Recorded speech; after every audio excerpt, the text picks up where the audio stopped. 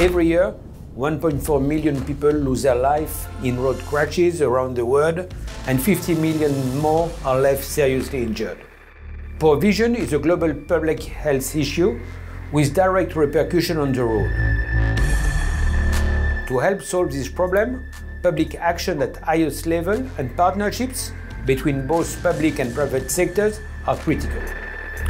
As a world leader in vision care, Essilor is driven by one mission improving lives by improving sight for everyone, everywhere.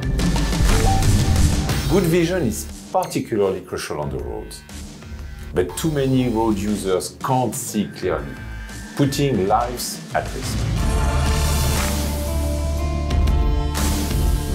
Together with Essilor, the FIA has achieved significant milestones towards the United Nations Road Safety related 2030 Sustainable Development Goals.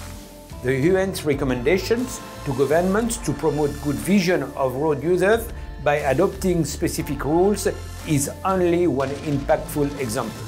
Together with the FIA, we have launched a joint plan aimed at improving road safety through better vision.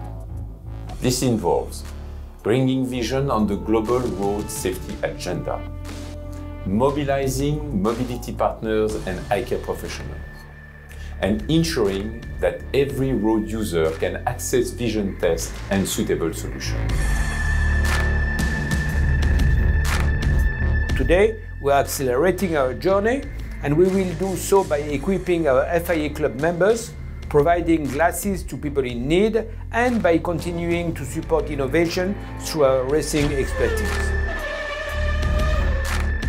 by leveraging our expertise, innovation, brands and inclusive business programs, we are helping drivers, bikers, cyclists, and pedestrians to enjoy the road safely thanks to good vision. By doing so, Essilor further strengthens its commitment with the FIA and the United Nations Road Safety Fund. I salute the commitment of Essilor and I encourage other private actors to follow this example.